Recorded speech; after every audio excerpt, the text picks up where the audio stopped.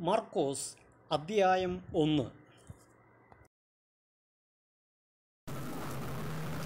മർക്കോസ് എഴുതിയ സുവിശേഷം അദ്ധ്യായം ഒന്ന്. സ്നാപകന്റെ പ്രഭാഷണം. ഒന്ന്.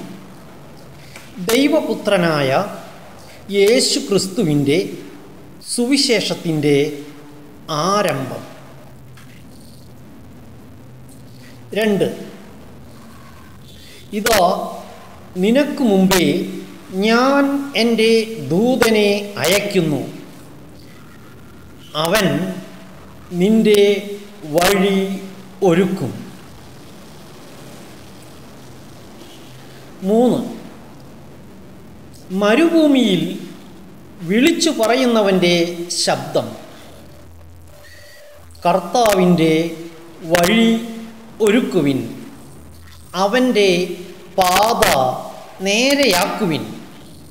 എന്ന് യേശയ്യ പ്രവാചകന്റെ ഗ്രന്ഥത്തിൽ എഴുതപ്പെട്ടിരിക്കുന്നത് പോലെ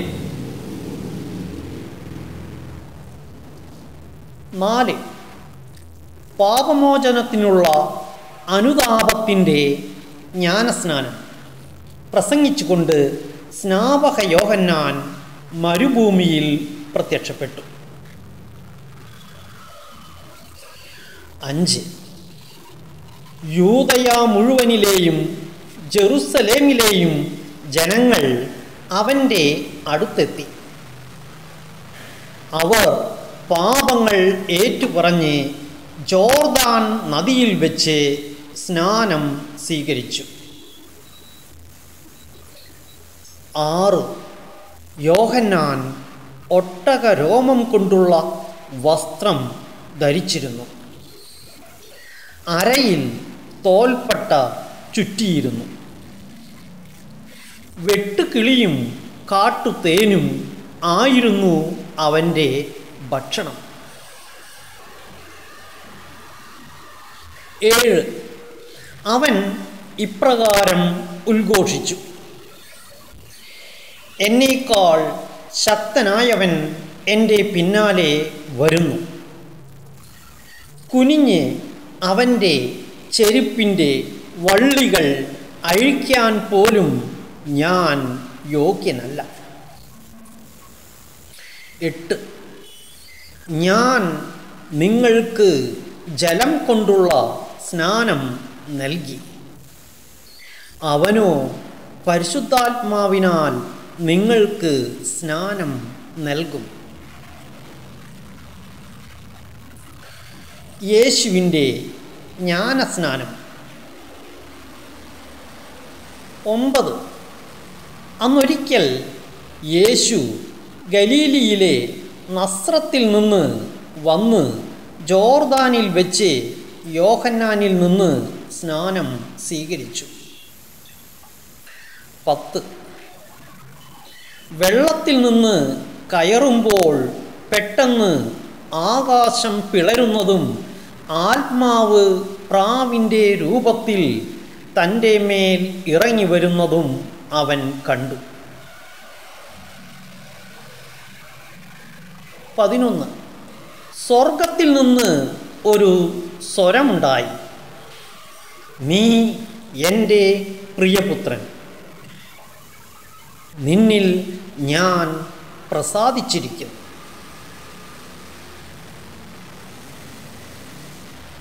മരുഭൂമിയിലെ പരീക്ഷ. പന്ത്രണ്ട്. ഉടനെ ആത്മാവ് അവനെ മരുഭൂമിയിലേക്ക് നയിച്ചു. പതിമൂന്ന്.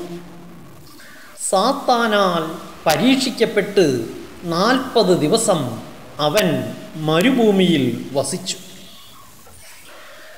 അവൻ വന്യമൃഗങ്ങളോടുകൂടെ യായിരുന്നു. ദൈവദൂതന്മാർ അവനെ ശുശ്രൂഷിച്ചു. ദൗത്യം ആരംഭിക്കുന്നു. പതിനാല്. യോഹന്നാൻ ബന്ധനസ്ഥനായപ്പോൾ യേശു ദൈവത്തിന്റെ സുവിശേഷം പ്രസംഗിച്ചുകൊണ്ട് ഗലീലിയിലേക്ക് വന്നു. പതിനഞ്ച്.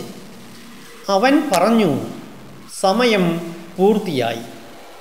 ദൈവരാജ്യം സമീപിച്ചിരിക്കുന്നു. അനുതപിച്ച് സുവിശേഷത്തിൽ വിശ്വസിക്കുന്നു.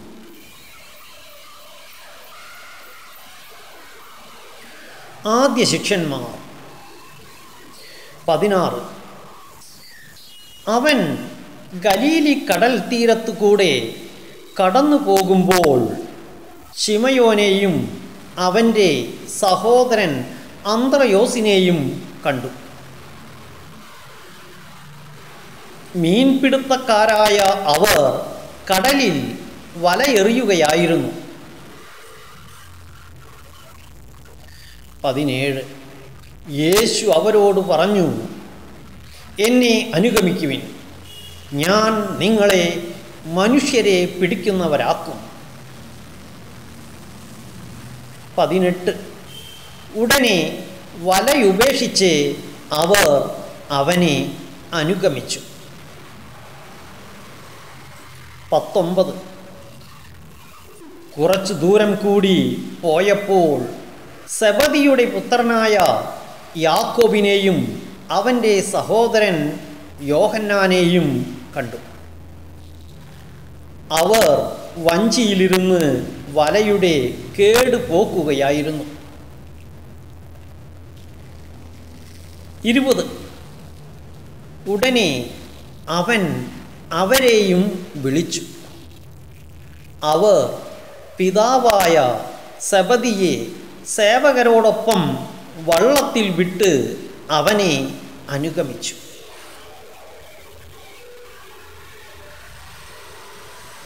പിശാജ് ബാധിതനെ സുഖപ്പെടുത്തുന്നു. ഇരുപത്തൊന്ന്. അവർ കഫർനാമിൽ എത്തി. സാപത്തു ദിവസം അവൻ സിനഗോഗിൽ പ്രവേശിച്ച് പഠിപ്പിച്ചു. ഇരുപത്തിരണ്ട്. അവന്റെ പ്രബോധനത്തിൽ അവർ വിസ്മയഭരിതരായി. കാരണം നിയമജ്ഞരെ പോലെയല്ല അധികാരമുള്ളവനെ പോലെയാണ് അവൻ പഠിപ്പിച്ചത്. ഇരുപത്തിമൂന്ന്. അശുദ്ധാത്മാവ് ബാധിച്ച ഒരുവൻ അവിടെ ഉണ്ടായിരുന്നു. ഇരുപത്തിനാല്. അവൻ അലറി. നസ്രായനായ യേശുവെ നീ എന്തിനെ ഞങ്ങളുടെ കാര്യത്തിൽ ഇടപെടുന്നു? ഞങ്ങളെ നശിപ്പിക്കാനാണോ നീ വന്നിരിക്കുന്നത്? നീ ആരാണെന്ന് എനിക്കറിയാം. ദൈവത്തിന്റെ പരിശുദ്ധ ഇരുപത്തഞ്ച്. യേശു അവനെ ശാസിച്ചു. നിശബ്ദനായിരിക്കുക. അവനെ വിട്ട് നീ പുറത്തു വരിക. ഇരുപത്തിയാറ്. അശുദ്ധാത്മാവ് അവനെ തള്ളി വീഴ്ത്തിയിട്ട് ഉച്ചസ്വരത്തിൽ അലറിക്കൊണ്ട് പുറത്തു വന്നു. ഇരുപത്തിയേഴ്. എല്ലാവരും അത്ഭുതപ്പെട്ട് പരസ്പരം പറഞ്ഞു ഇതെന്ത്? അധികാരത്തോടെയുള്ള പുതിയ പ്രബോധനമോ? അശുദ്ധാത്മാക്കളോട് പോലും അവൻ ആജ്ഞാപിക്കുന്നു. അവ അനുസരിക്കുകയും ചെയ്യുന്നു. ഇരുപത്തിയെട്ട്. അവന്റെ പ്രശസ്തി ഗലീലിയുടെ സമീപ പ്രദേശങ്ങളിലെല്ലാം പെട്ടെന്ന് വ്യാപിച്ചു. ശിമയോന്റെ അമ്മായിയമ്മ. ഇരുപത്തി ഒമ്പത് യേശു സിനഗോഗിൽ നിന്ന് ഇറങ്ങി യാക്കോബിനോടും യോഹന്നാനോടും കൂടെ ഷിമയോന്റെയും അന്ത്രയോസിന്റെയും ഭവനത്തിലെത്തി. മുപ്പത്. ഷിമയോന്റെ അമ്മായി അമ്മ പനി പിടിച്ച് കിടപ്പായിരുന്നു. അവളുടെ കാര്യം അവർ അവനോട് പറഞ്ഞു. മുപ്പത്തിയൊന്ന്. അവൻ അടുത്തു ചെന്ന് അവളെ കൈക്ക് പിടിച്ച് എഴുന്നേൽപ്പിച്ചു. പനി അവളെ വിട്ടുമാറി. അവൾ അവരെ ശുശ്രൂഷിച്ചു. മുപ്പത്തിരണ്ട്. അന്ന് വൈകുന്നേരം സൂര്യാസ്തമയമായപ്പോൾ രോഗികളും പിശാച് ബാധിതരുമായ എല്ലാവരെയും അവർ അവന്റെ അടുത്ത് കൊണ്ടുവന്നു. മുപ്പത്തിമൂന്ന്. നഗരവാസികളെല്ലാം വാദിക്കൽ സമ്മേളിച്ചു. മുപ്പത്തിനാല്. വിവിധ രോഗങ്ങൾ ബാധിച്ചിരുന്ന വളരെ പേരെ അവൻ സുഖപ്പെടുത്തി. അനേകം പിശാചുക്കളെ പുറത്താക്കി. പിശാചുക്കൾ തന്നെ അറിഞ്ഞിരുന്നത് കൊണ്ട് സംസാരിക്കാൻ അവരെ അവൻ അനുവദിച്ചില്ല. സിനഗോഗുകളിൽ പ്രസംഗിക്കുന്നു. മുപ്പത്തിയഞ്ച്. അതിരാവിലെ അവൻ ഉണർന്ന് ഒരു വിജന സ്ഥലത്തേക്ക് പോയി. അവിടെ അവൻ പ്രാർത്ഥിച്ചു കൊണ്ടിരുന്നു മുപ്പത്തിയാറ്. ശിമയോനും കൂടെ ഉണ്ടായിരുന്നവരും അവനെ തേടി പുറപ്പെട്ടു. മുപ്പത്തിയേഴ്. കണ്ടെത്തിയപ്പോൾ അവർ പറഞ്ഞു എല്ലാവരും നിന്നെ അന്വേഷിക്കുന്നു. മുപ്പത്തിയെട്ട്. അവൻ പറഞ്ഞു നമുക്ക് അടുത്ത പട്ടണങ്ങളിലേക്ക് പോകാം. അവിടെയും എനിക്ക് പ്രസംഗിക്കേണ്ടിയിരിക്കുന്നു. അതിനാണ് ഞാൻ വന്നിരിക്കുന്നത്. മുപ്പത്തിയൊമ്പത്. സിനഗോഗുകളിൽ പ്രസംഗിച്ചുകൊണ്ടും പിശാചുക്കളെ പുറത്താക്കിക്കൊണ്ടും അവൻ ഗലീലിയുടനീളം സഞ്ചരിച്ചു. കുഷ്ഠരോഗിയെ സുഖപ്പെടുത്തുന്നു. നാൽപ്പത് ഒരു കുഷ്ഠരോഗി അവന്റെ അടുത്തെത്തി മുട്ടുകുത്തി അപേക്ഷിച്ചു. അങ്ങേക്ക് മനസ്സുണ്ടെങ്കിൽ എന്നെ ശുദ്ധനാക്കാൻ കഴിയും. നാൽപ്പത്തൊന്ന്. അവൻ കരുണ തോന്നി കൈ നീട്ടി അവനെ സ്പർശിച്ചുകൊണ്ട് പറഞ്ഞു എനിക്ക് മനസ്സുണ്ട്. നിനക്ക് ശുദ്ധിയുണ്ടാകട്ടെ നാൽപ്പത്തിരണ്ട്. തൽക്ഷണം കുഷ്ഠം മാറി അവനെ ശുദ്ധി വന്നു. നാൽപ്പത്തി മൂന്ന് യേശു അവനെ കർശനമായി താക്കീത് ചെയ്ത് പറഞ്ഞയച്ചു. നാൽപ്പത്തിനാല്. നീ ഇതേപ്പറ്റി ആരോടും ഒന്നും സംസാരിക്കരുത്. എന്നാൽ പോയി പുരോഹിതനെ നിന്നെ തന്നെ കാണിച്ചു കൊടുക്കുക. മോശയുടെ കൽപ്പനയനുസരിച്ച് ജനങ്ങൾക്ക് സാക്ഷ്യത്തിനായി ശുദ്ധീകരണ കാഴ്ചകൾ സമർപ്പിക്കുകയും ചെയ്യുക. നാൽപ്പത്തഞ്ച്. എന്നാൽ അവൻ പുറത്തു ചെന്ന് വളരെ കാര്യങ്ങൾ പ്രഘോഷിക്കാനും ഇത് പ്രസിദ്ധമാക്കാനും തുടങ്ങി. തന്മൂലം പിന്നീട് പട്ടണത്തിൽ പരസ്യമായി പ്രവേശിക്കാൻ യേശുവിനെ സാധിച്ചില്ല.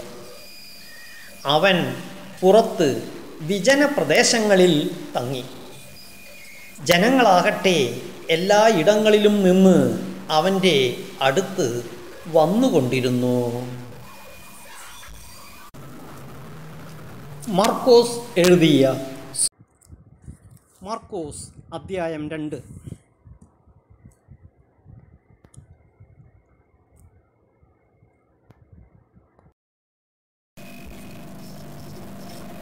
അധ്യായം രണ്ട്. തളർവാദ രോഗിയെ സുഖപ്പെടുത്തുന്നു. ഒന്ന്. കുറേ ദിവസങ്ങൾ കഴിഞ്ഞ് യേശു കഫർനാമിൽ തിരിച്ചെത്തിയപ്പോൾ അവൻ വീട്ടിലുണ്ട് എന്ന വാർത്ത പ്രചരിച്ചു. രണ്ട് വാതിൽക്കൽ പോലും നിൽക്കാൻ സ്ഥലം തികയാത്ത വിധം നിരവധി ആളുകൾ അവിടെ കൂടി. അവൻ അവരോട് വചനം പ്രസംഗിച്ചു കൊണ്ടിരുന്നു.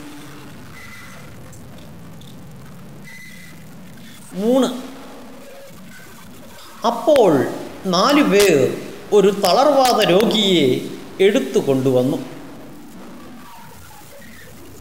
നാല്. ജനക്കൂട്ടം നിമിത്തം അവന്റെ അടുത്തെത്താൻ അവർക്ക് കഴിഞ്ഞില്ല. അതിനാൽ അവനിരുന്ന സ്ഥലത്തിന്റെ മേൽക്കൂര പൊളിച്ച് തളർവാദ രോഗിയെ അവർ കിടക്കയോടെ താഴോട്ടിറക്കി. അഞ്ച്. അവരുടെ വിശ്വാസം കണ്ട് യേശു തളർവാദ രോഗിയോട് പറഞ്ഞു മകനെ നിന്റെ പാപങ്ങൾ ക്ഷമിക്കപ്പെട്ടിരിക്കുന്നു. ആറ്. നിയമജ്ഞരിൽ ചിലർ അവിടെ ഇരിപ്പുണ്ടായിരുന്നു. അവർ ചിന്തിച്ചു. ഏഴ്. എന്തുകൊണ്ടാണ് ഇവൻ ഇപ്രകാരം സംസാരിക്കുന്നത്? ഇവൻ ദൈവദൂഷണം പറയുന്നു. ദൈവത്തിനല്ലാതെ മറ്റാർക്കാണ് പാപം ക്ഷമിക്കാൻ സാധിക്കുക? എട്ട്. അവർ ഇപ്രകാരം വിചാരിക്കുന്നുവെന്ന് മനസ്സിലാക്കി യേശു അവരോട് ചോദിച്ചു എന്തുകൊണ്ടാണ് നിങ്ങൾ ഇങ്ങനെ ചിന്തിക്കുന്നത് ഒമ്പത് ഏതാണ് എളുപ്പം? തളർവാദ രോഗിയോട് നിന്റെ പാപങ്ങൾ ക്ഷമിക്കപ്പെട്ടിരിക്കുന്നു എന്ന് പറയുന്നതോ? എഴുന്നേറ്റ് നിന്റെ കിടക്കയും എടുത്ത് നടക്കുക എന്ന് പറയുന്നതോ? പത്ത്. എന്നാൽ ഭൂമിയിൽ പാപങ്ങൾ ക്ഷമിക്കാൻ മനുഷ്യപുത്രനെ അധികാരമുണ്ടെന്ന് നിങ്ങൾ അറിയേണ്ടതിനെ അവൻ തളർവാദ രോഗിയോട് പറഞ്ഞു. പതിനൊന്ന്. ഞാൻ നിന്നോട് പറയുന്നു എഴുന്നേറ്റ് നിന്റെ കിടക്കയും എടുത്ത് വീട്ടിലേക്ക് പോവുക. പന്ത്രണ്ട്. തൽക്ഷണം അവൻ എഴുന്നേറ്റ് കിടക്കയും എടുത്ത് എല്ലാവരും കാണുക പുറത്തേക്ക് പോയി. എല്ലാവരും വിസ്മയിച്ചു. ഇതുപോലൊന്ന് ഞങ്ങൾ ഒരിക്കലും കണ്ടിട്ടില്ല എന്ന് പറഞ്ഞ് അവർ ദൈവത്തെ മഹത്വപ്പെടുത്തി. ലേവിയെ വിളിക്കുന്നു. പതിമൂന്ന്. യേശു വീണ്ടും കടൽ തീരത്തേക്ക് പോയി. ജനക്കൂട്ടം അവന്റെ അടുത്തെത്തി. അവൻ അവരെ പഠിപ്പിച്ചു. പതിനാല്. അവൻ കടന്നു പോയപ്പോൾ ഹൽപ്പയുടെ പുത്രനായ ലേവി ചുങ്കസ്ഥലത്ത് ഇരിക്കുന്നത് കണ്ട് അവനോട് പറഞ്ഞു എന്നെ അനുഗമിക്കുക. അവൻ എഴുന്നേറ്റ് യേശുവിനെ അനുഗമിച്ചു. പതിനഞ്ച് അവൻ ലേവിയുടെ ഭവനത്തിൽ ഭക്ഷണത്തിനിരിക്കുമ്പോൾ അനേകം ചുങ്കക്കാരും പാപികളും അവന്റെയും ശിഷ്യരുടെയും കൂടെ ഇരുന്നു. കാരണം അവനെ അനുഗമിച്ചവർ നിരവധിയായിരുന്നു. പതിനാറ്. അവൻ പാപികളോടും ചുങ്കക്കാരോടുമൊപ്പം ഭക്ഷണം കഴിക്കുന്നത് കണ്ട് പരിസേയരിൽപ്പെട്ട ചില നിയമജ്ഞർ ശിഷ്യന്മാരോട് ചോദിച്ചു. അവൻ ചുങ്കക്കാരുടെയും പാപികളുടെയും കൂടെ ഭക്ഷിക്കുന്നത് എന്ത് പതിനേഴ്. ഇത് കേട്ട് യേശു പറഞ്ഞു ആരോഗ്യമുള്ളവർക്കല്ല രോഗികൾക്കാണ് വൈദ്യനെ കൊണ്ട് ആവശ്യം. നീതിമാന്മാരെയല്ല പാപികളെ വിളിക്കാനാണ് ഞാൻ വന്നത്. ഉപവാസത്തെ സംബന്ധിച്ച് തർക്കം. പതിനെട്ട്. യോഹന്നാന്റെ ശിഷ്യന്മാരും പരിസേയരും ഉപവസിക്കുകയായിരുന്നു. ആളുകൾ വന്ന് യേശുവിനോട് ചോദിച്ചു. യോഹന്നാന്റെയും പരിസേയരുടെയും ശിഷ്യന്മാർ ഉപവസിക്കുകയും നിന്റെ ശിഷ്യന്മാർ ഉപവസിക്കാതിരിക്കുകയും ചെയ്യുന്നത് എന്തുകൊണ്ട്?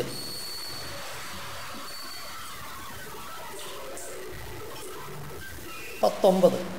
യേശു പറഞ്ഞു മണവാളൻ കൂടെയുള്ളപ്പോൾ മണവറ തോഴർക്ക് ഉപവസിക്കുവാൻ സാധിക്കുമോ? മണവാളൻ കൂടെയുള്ളിടത്തോളം കാലം അവർക്ക് ഉപവസിക്കാനാവില്ല. ഇരുപത്. മണവാളൻ അവരിൽ നിന്ന് അകറ്റപ്പെടുന്ന കാലം വരും. അന്ന് അവർ ഉപവസിക്കും. ഇരുപത്തൊന്ന്. ആരും പഴയ വസ്ത്രത്തിൽ പുതിയ കഷണം തുന്നിപ്പിടിപ്പിക്കാറില്ല. അങ്ങനെ ചെയ്താൽ തുന്നിച്ചേർത്ത കഷ്ണം അതിൽ നിന്ന് കീറിപ്പോരുകയും കീറൽ വലുതാവുകയും ചെയ്യും. ആരും പുതിയ വീഞ്ഞ് പഴയ തോൽക്കുടങ്ങളിൽ ഒഴിച്ചു വയ്ക്കാറില്ല അങ്ങനെ ചെയ്താൽ തോൽക്കുടങ്ങൾ പിളരുകയും വീഞ്ഞും തോൽക്കുടങ്ങളും നഷ്ടപ്പെടുകയും ചെയ്യും. പുതിയ വീഞ്ഞ്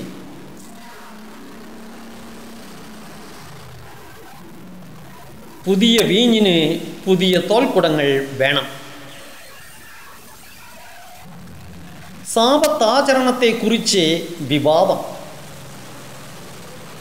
ഇരുപത്തിമൂന്ന്.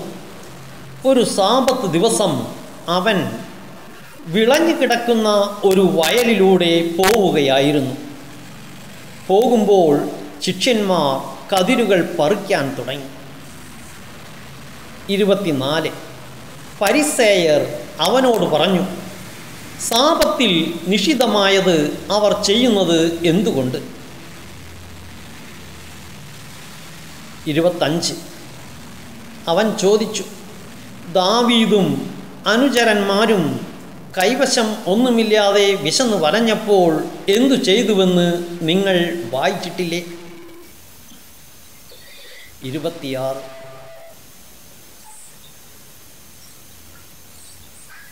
അബിയാദാർ പ്രധാന പുരോഹിതനായിരിക്കെ ദാവീദ് ദേവാലയത്തിൽ പ്രവേശിച്ച് പുരോഹിതന്മാർക്കല്ലാതെ മറ്റാർക്കും ഭക്ഷിക്കാൻ അനുവാദമില്ലാത്ത കാഴ്ചയപ്പം ഭക്ഷിക്കുകയും കൂടെയുണ്ടായിരുന്നവർക്കും കൊടുക്കുകയും ചെയ്തില്ലേ? ഇരുപത്തിയേഴ്. അവൻ അവരോട് പറഞ്ഞു സാപത്ത് മനുഷ്യനു വേണ്ടിയാണ്. മനുഷ്യൻ സാപത്തിന് വേണ്ടിയല്ല. മനുഷ്യപുത്രൻ സാപത്തിന്റെയും കർത്താവാണ്.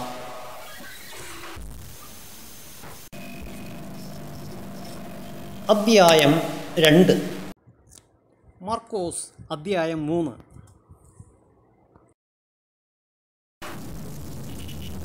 അധ്യായം മൂന്ന്. സാപത്തിൽ രോഗശാന്തി.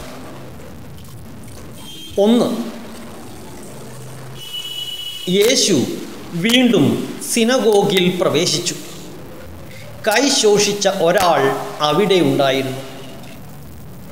രണ്ട് യേശുവിൽ കുറ്റമാരോപിക്കുന്നതിനു വേണ്ടി സാപത്തിൽ അവൻ രോഗശാന്തി നൽകുമോ എന്ന് അറിയാൻ അവർ ഉറ്റുനോക്കിക്കൊണ്ടിരുന്നു.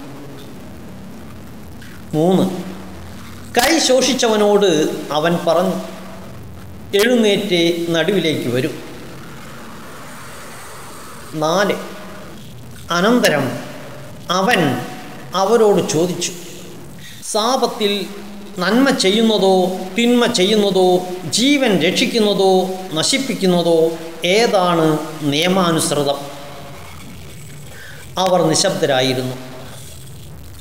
അഞ്ച്. അവരുടെ ഹൃദയ കാഠിന്യത്തിൽ ദുഃഖിച്ച് അവരെ ക്രോധത്തോടെ നോക്കിക്കൊണ്ട് യേശു അവനോട് പറഞ്ഞു കൈ നീട്ടുക. അവൻ കൈ നീട്ടി. അത് സുഖപ്പെട്ടു. ആറു പരിസേയർ ഉടനെ പുറത്തേക്കിറങ്ങി. യേശുവിനെ നശിപ്പിക്കുവാൻ വേണ്ടി ഹേറോദേസ് പക്ഷക്കാരുമായി ആലോചന നടത്തി. കടൽ തീരത്തെ അത്ഭുതങ്ങൾ. ഏഴ്. യേശു ശിഷ്യന്മാരോട് കൂടെ കടൽ തീരത്തേക്ക് പോയി. ഗലീലിയിൽ നിന്ന് ഒരു വലിയ ജനക്കൂട്ടം അവനെ അനുഗമിച്ചു. എട്ട്. യൂത ജെറുസലേം ഇതുമയ എന്നിവിടങ്ങളിൽ നിന്നും ജോർദാന്റെ മറുകരെ നിന്നും ടൈർ സീതോൻ എന്നിവയുടെ പരിസരങ്ങളിൽ നിന്നും ധാരാളം ആളുകൾ അവന്റെ പ്രവൃത്തികളെക്കുറിച്ച് കേട്ട് അവന്റെ അടുത്തെത്തി. ഒമ്പത്. ആൾത്തിരക്കിൽപ്പെട്ട് ഞെരുങ്ങാതിരിക്കുന്നതിനെ അവൻ ശിഷ്യന്മാരോട് ഒരു വള്ളം ഒരുക്കി നിർത്താൻ ആവശ്യപ്പെട്ടു. പത്ത്. എന്തെന്നാൽ അവൻ പലർക്കും രോഗശാന്തി നൽകിയത് മൂലം രോഗമുണ്ടായിരുന്നവരെല്ലാം അവനെ സ്പർശിക്കാൻ തിക്കി തിരക്കിക്കൊണ്ടിരുന്നു. പതിനൊന്ന്. അശുദ്ധാത്മാക്കൾ അവനെ കണ്ടപ്പോൾ അവന്റെ മുമ്പിൽ വീണ് നീ ദൈവപുത്രനാണ് എന്ന് വിളിച്ചു പറഞ്ഞു. പന്ത്രണ്ട്. തന്നെ വെളിപ്പെടുത്തരുതെന്ന് അവൻ അവയ്ക്ക് കർശനമായ താക്കീത് നൽകി. അപ്പോസ്തലന്മാരെ തെരഞ്ഞെടുക്കുന്നു. പതിമൂന്ന്. പിന്നെ അവൻ മലമുകളിലേക്ക് കയറി തനിക്ക് ഇഷ്ടമുള്ളവരെ അടുത്തേക്ക് വിളിച്ചു. അവർ അവന്റെ സമീപത്തേക്ക് വന്നു. പതിനാല്. തന്നോടുകൂടി ആയിരിക്കുന്നതിനും പ്രസംഗിക്കാൻ അയക്കുന്നതിനും. പതിനഞ്ച്. പിശാചുക്കളെ ബഹിഷ്കരിക്കാൻ അധികാരം നൽകുന്നതിനുമായി അവൻ പന്ത്രണ്ട് പേരെ നിയോഗിച്ചു. പതിനാറ്. അവർ പത്രോസ് എന്ന് അവൻ പേര് നൽകിയ ശിമയോൻ ഇടിമുഴക്കത്തിന്റെ പുത്രന്മാർ എന്നർത്ഥമുള്ള പതിനേഴ്. ബൊവനർഗസ് എന്ന് പേര് നൽകിയ സെബതി പുത്രന്മാരായ യാക്കോബും സഹോദരൻ യോഹനാനും പതിനെട്ട്. അന്ത്രയോസ് പീലിപ്പോസ് ബർത്തലോമിയ മത്തായി തോമാസ് ഹൽപ്പയുടെ പുത്രൻ യാക്കോബ് തദേവുസ് കാനാൻകാരനായ ശിമയോൻ. പത്തൊമ്പത്. യേശുവിനെ ഒറ്റിക്കൊടുത്ത യൂദാസ് കറിയോത്ത.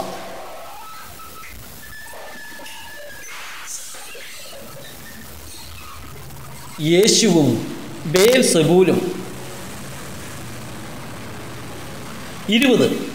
അനന്തരം അവൻ ഒരു ഭവനത്തിൽ പ്രവേശിച്ചു.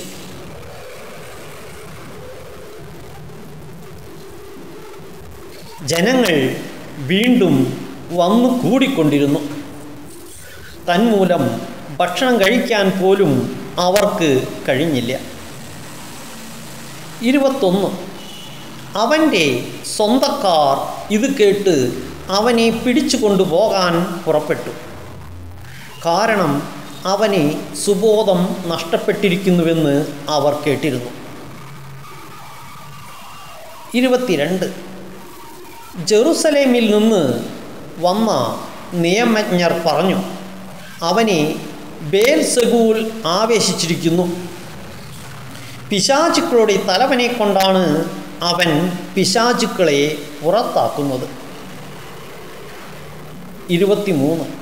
അവൻ അവരെ അടുത്ത് വിളിച്ച് ഉപമകൾ വഴി അവരോട് പറഞ്ഞു സാത്താൻ എങ്ങനെയാണ് സാത്താനെ പുറത്താക്കാൻ കഴിയുക? ഇരുപത്തിനാല് അന്തചിത്രമുള്ള രാജ്യം നിലനിൽക്കുകയില്ല. ഇരുപത്തഞ്ച് അന്തചിത്രമുള്ള ഭവനവും നിലനിൽക്കുകയില്ല.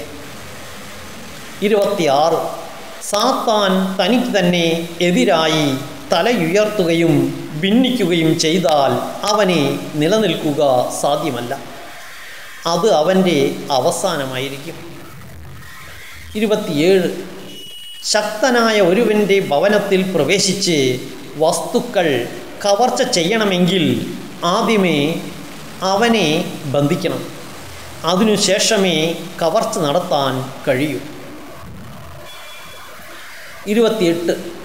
സത്യമായി ഞാൻ നിങ്ങളോട് പറയുന്നു മനുഷ്യ മക്കളുടെ എല്ലാ പാപങ്ങളും അവർ പറയുന്ന ദൂഷണങ്ങളും ക്ഷമിക്കപ്പെടും. ഇരുപത്തൊമ്പത്. എന്നാൽ പരിശുദ്ധാത്മാവിനെതിരായി ദൂഷണം പറയുന്നവനെ ഒരു കാലത്തും പാപത്തിൽ നിന്ന് മോചനമില്ല. അവൻ നിത്യപാപത്തിന് ഉത്തരവാദിയാകും. മുപ്പത്. അവൻ ഇങ്ങനെ പറഞ്ഞത് തനിക്ക് അശുദ്ധാത്മാവുണ്ട് എന്ന് അവർ പറഞ്ഞതിനാലാണ്. യേശുവിന്റെ അമ്മയും സഹോദരരും. മുപ്പത്തിയൊന്ന്. അവന്റെ അമ്മയും സഹോദരന്മാരും വന്ന് പുറത്ത് നിന്നുകൊണ്ട് അവനെ വിളിക്കാൻ ആളയച്ചു. മുപ്പത്തിരണ്ട്. ജനക്കൂട്ടം അവന് ചുറ്റും ഇരിക്കുകയായിരുന്നു.